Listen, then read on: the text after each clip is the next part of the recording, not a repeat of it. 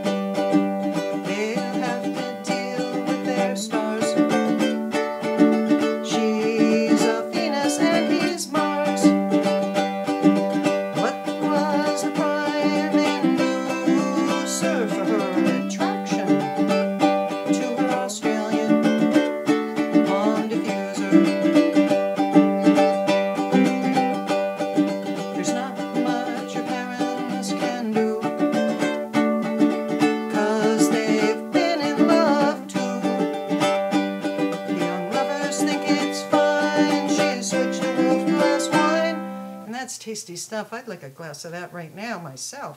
Bees in love.